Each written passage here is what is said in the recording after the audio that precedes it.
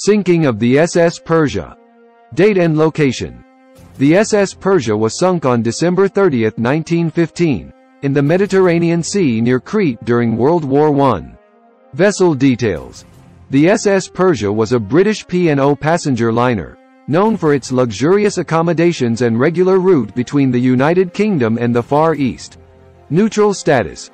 Despite being a civilian vessel, the Persia was carrying passengers and cargo during a time when unrestricted submarine warfare was a threat.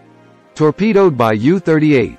The sinking occurred when the German submarine U-38, commanded by Captain Max Valentiner, fired a torpedo at the Persia. Passenger manifest. The Persia was carrying over 500 people, including passengers and crew, with many being British and Indian civilians. Casualties.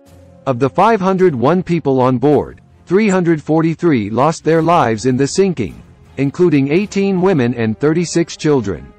British response.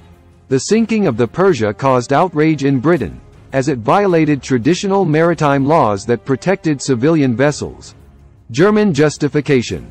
The Germans claimed the Persia was carrying war materiel, justifying its sinking under their policy of unrestricted submarine warfare. Lack of warning. Contrary to established maritime practices, the U-38 did not provide any warning before launching the torpedo.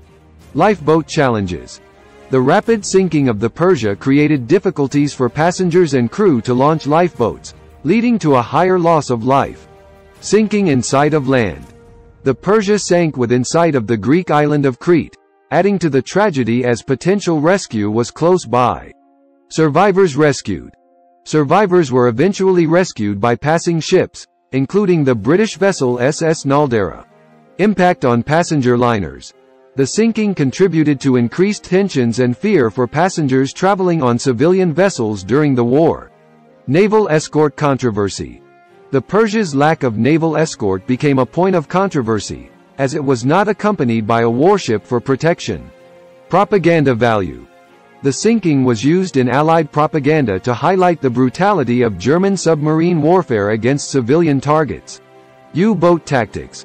The sinking of the Persia exemplified the ruthless tactics employed by German U-boats in an attempt to cut off British supply lines. International repercussions. The sinking further strained diplomatic relations and fueled anti-German sentiment internationally. Complications in identification.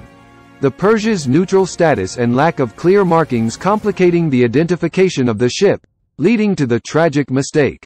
Censorship measures. The British government initially imposed censorship on reporting the sinking, fearing negative public reactions. Post-war investigations.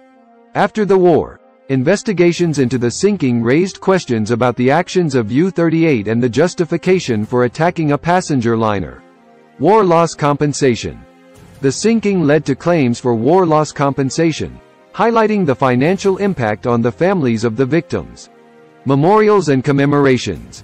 Memorials and commemorations were held for the victims, including plaques and services in various locations. Legacy and maritime law.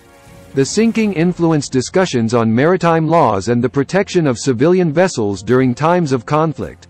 Remains of the Persia. The wreckage of the Persia lies at a depth of about 4,000 meters, making it challenging for exploration or salvage. Historical remembrance. The sinking of the SS Persia remains a somber chapter in maritime history, symbolizing the tragic consequences of unrestricted submarine warfare on civilian lives.